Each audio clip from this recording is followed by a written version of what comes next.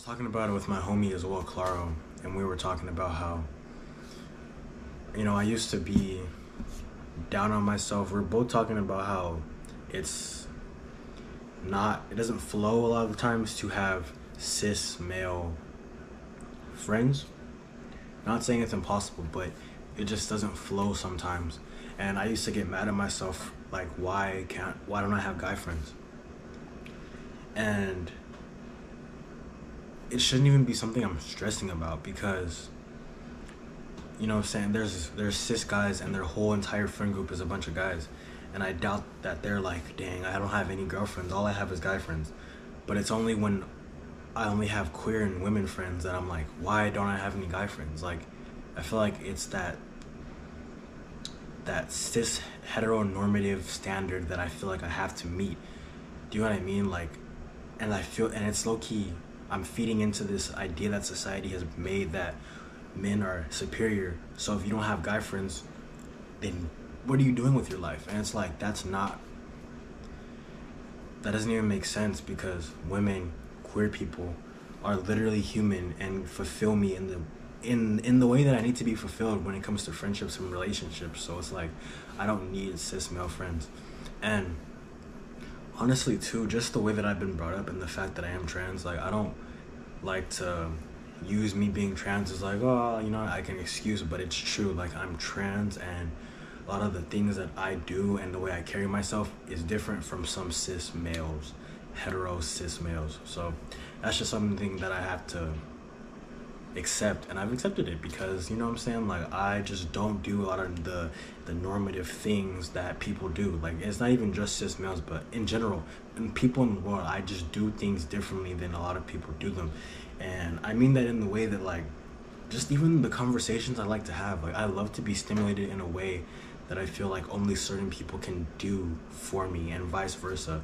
You know what I mean? Like I am not a small talk type of person. I mean, I'll I'll small talk like this weather we having. You feel me? But to have a real deep, meaningful connection, like the things that I want to talk about, like you have to be open to. And I've realized as well. Okay, you know, I can have friends like this that don't know a lot about my community and all this stuff, and I'm like, I can just teach them and put them on. But it's like that's not my responsibility in the world when it comes to my relationships to have to teach someone how to navigate me i guess but then like it's i'm it's a fine line. Like i am i'm open to you know i'm saying teaching someone but i guess i can't teach you the whole 100% of what you need to do to be my friend or be in a relationship with me.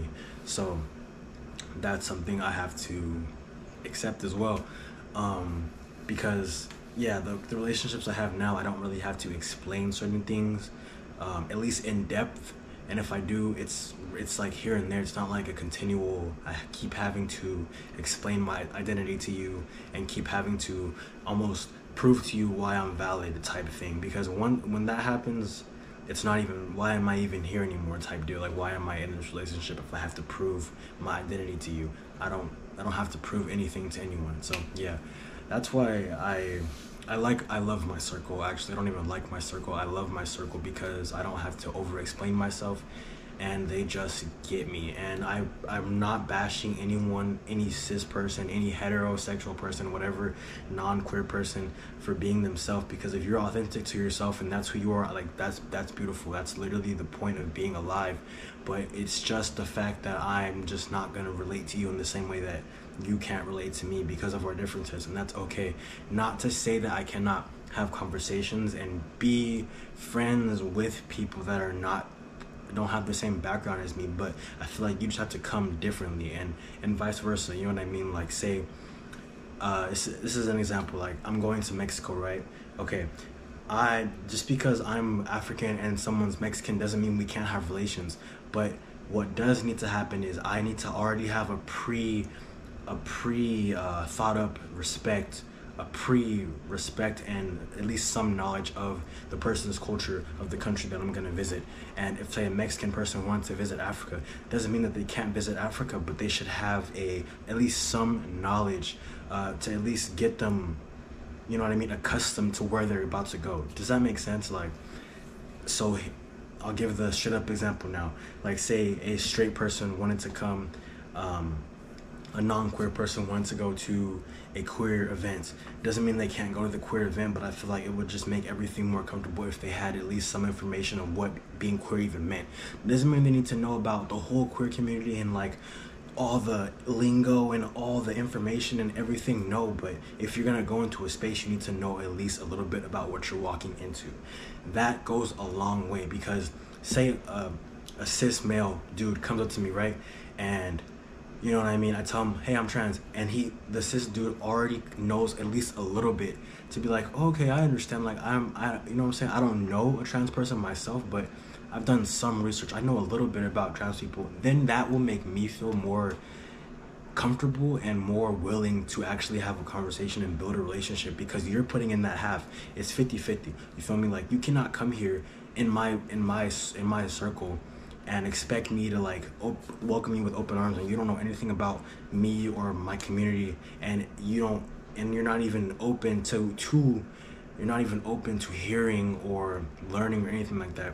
So i think energy plays a big part. It's how you come and you step because it's inevitable. There's differences regardless of gender. There's differences regardless of race. Like all those factors race gender sexuality sex um, just parts of the world that we live in culture we all have our differences but it's about how we navigate those differences. And you know i'm not to force myself. That's like that's like a white person being like dang i only have white friends. Why don't i have any black friends? And then them trying to go find black friends just for the sake of saying i have black friends.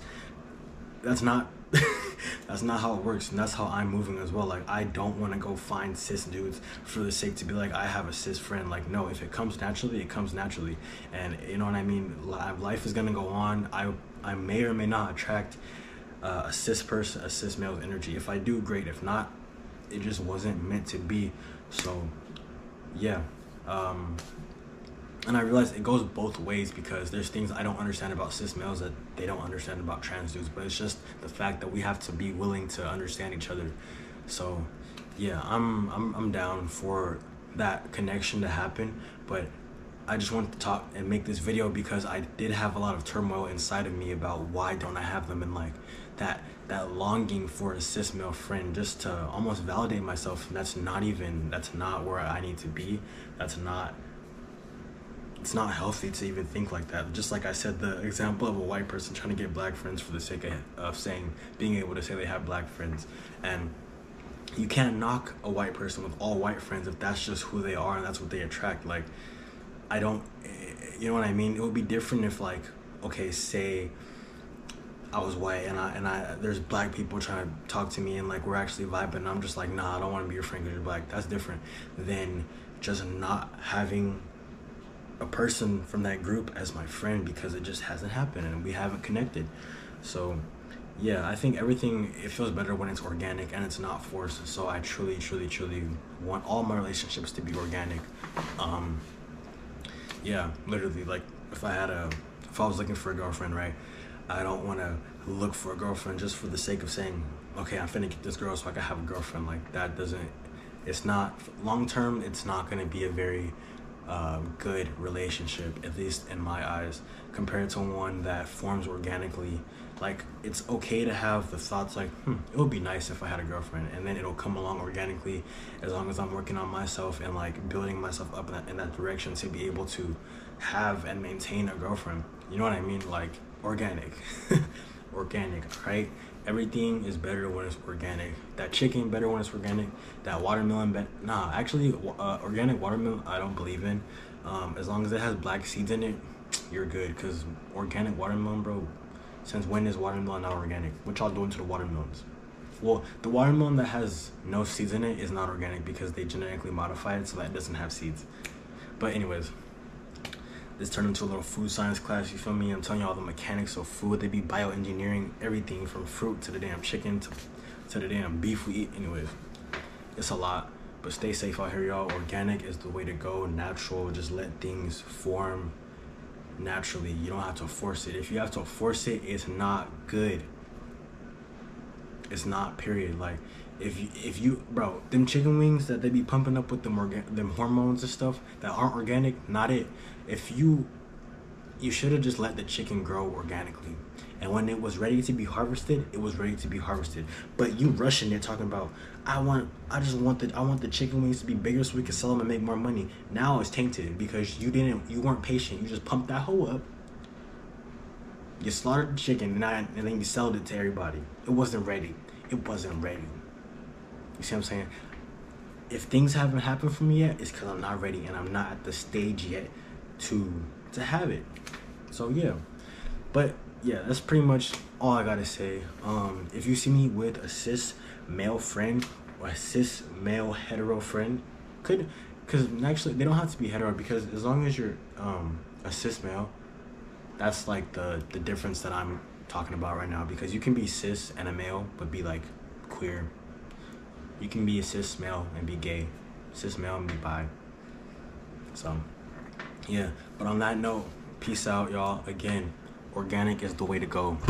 Don't let them play you, bro.